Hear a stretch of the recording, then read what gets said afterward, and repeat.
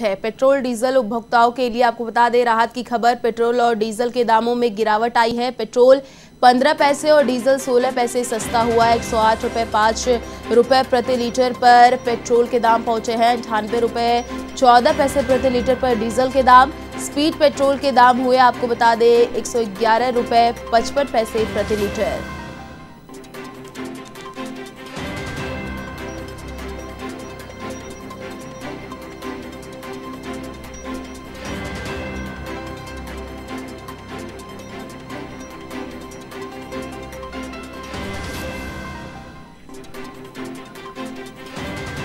आपको बता दें, पेट्रोल और डीजल के दामों में आपको बता दें कि राहत मिलती जा रही है। उपभोक्ताओं को पेट्रोल और डीजल के दामों में गिरावट आई है।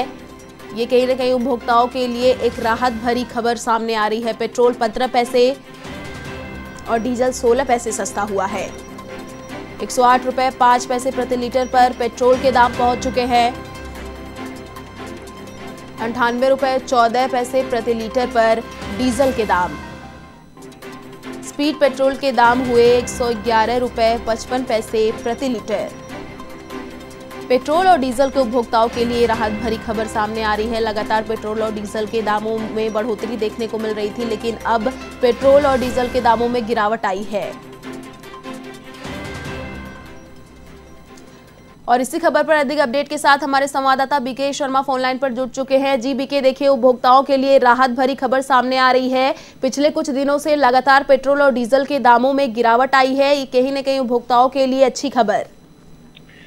आयुषी से मामूली राहत कह सकते हैं क्योंकि जो डीजल के दाम हैं वो पाँच छह दिन से कम हो रहे थे लगातार। जी। और पेट्रोल के दाम थमे हुए थे लेकिन अब पिछले दो दिन से पेट्रोल के दामों में भी कमी आई है लेकिन बड़ा सवाल यही है कि पिछले साल जून से जो सत्तर रुपए लीटर के करीब पेट्रोल था वो बढ़कर और सौ रुपए से ऊपर पहुँच गया। जी। अब उसमें ये क्या उतनी कम कटौती हो पाएगी? ये एक बड़ा सवाल है कि जिस अनुपात में दाम बढ़े हैं पेट्रोल और डीजल के क्या उस अनुपात में ये पेट्रोल डीजल के सरकार का दाम कम करेगी? ये एक बड़ा सवाल है। लेकिन आप देखेंगे कि जब बढ़ोतरी होती थी तो 25 30 पैसे कम से कम बढ़ोतरी होती थी प्रतिदिन। और उससे ऊपर 40 पैसे और 30 पैसे इस तरह की बढ़ोतरी होती थी। लेकिन कटौती में ये 15 पैसे और 20 पैसे के आसपास है अभी सिमटी हुई। तो ये अनुपात भी बढ़ता है कि नहीं इस पर नज़र रहेगी। और ये कब तक जारी रहता है ये भी देखना होगा। तो इन सब बातों पर नज़र रखनी पड़ेगी। हालाँकि ये ज़रूर है कि आप देखेंगे कि हाल ही में इसी महीने में अगस्त में एलपीजी के दाम बढ़ाए हैं। इन्होंने घरेलू जो सिलेंडर है उसकी कीमतें पच्चीस रुपए बढ़ा दी और उसके साथ ही इन्होंने बहत्तर रुपए व्यावसायिक सिलेंडर पर बढ़ा दी। तो हम्म। कंपनियाँ एक ही है ये जो पेट्रोलियम और एलपीजी का जो विपणन करती हैं हम्म। इनका पूरा ट्रेड एक ही कम, इन्हीं कंपनियों के जो तीन चार कंपनियाँ हैं जो केंद्र सरकार के अधीन काम करती है। आ, Indian oil Hindustan petroleum Bharat petroleum यही कंपनियाँ हैं जो ये काम करती हैं। ये इसका तो कुल मिला के देखा जाए नफा नुकसान अगर इसके ज्वाइंट अकाउंट में एक तरह से एक ही कंपनी के मुनाफे में या घाटे में ये कैलकुलेट होता है तो इसको देखना होगा कि कंपनियाँ एक हाथ से देती हैं दूसरे हाथ से ले लेती हैं। तो एक बड़ा आपने अभी भार डाला है इसी महीने में। जी। पच्चीस रुपए का आपने सिलेंडर बढ़ा दिया तो अब ये पंद्रह पैसे प्रति लीटर पेट्रोल पर ये कम कर रहे हैं। तो ये इससे क्या राहत मिलती है? ये तो आप सबको पता है कि इससे कोई बड़ी राहत मिलने वाली नहीं है जब तक की कोई बड़ा इसमें अमाउंट है उसमें कटौती ना हो तो ये देखनी होगी लेकिन सरकार की नीति ये भी है कि अगर धीरे धीरे कम करेंगे जी। तो कंपनियों को घाटा नहीं होगा। तो जी अगर धीरे धीरे भी अगर राहत दी जाए तो उसका भी स्वागत करना चाहिए आयुषी जी। बीके देखिए विपक्षी पार्टी लगातार घेरने को सरकार की कोशिश कर रही है। लगातार प्रदर्शन भी किया जा रहा था तो चुनाव भी आने वाले हैं तो क्या इससे कुछ जोड़ा जा रहा है?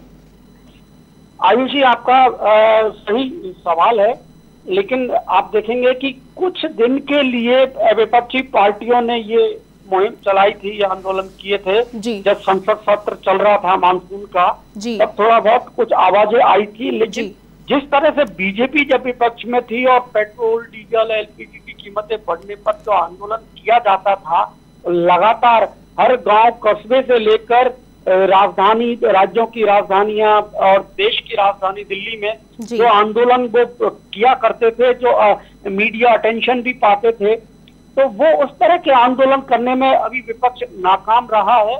तो उस आंदोलन का असर माना जाए ये बिल्कुल सही नहीं है और आ, मुझे लगता है कि ये आंदोलन का कोई असर सरकार के ऊपर पड़ा भी नहीं है पर सरकार ने अपने ट्रेड में क्योंकि ये लेकिन दूसरा आपका जो सवाल था जो क्योंकि पाँच राज्यों में चुनाव होने वाले हैं तो चुनावों में ये बड़ा मुद्दा महँगाई का बन सकता है। इसको लेकर ज़रूर ये संवेदनशील हो सकती है सरकार और इसको लेकर ये प्रयास किए जा रहे हैं कि धीरे धीरे धीरे और चुनाव करीब आने तक पेट्रोल और डीजल के दाम थोड़े कम किए जाएँ।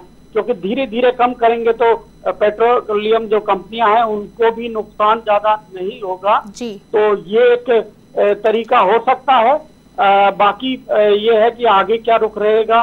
सरकार का पेट्रोलियम कंपनियों का इस पर सबकी नज़र रहेगी आयुष जी शुक्रिया बीके तमाम जानकारी साझा करने के लिए।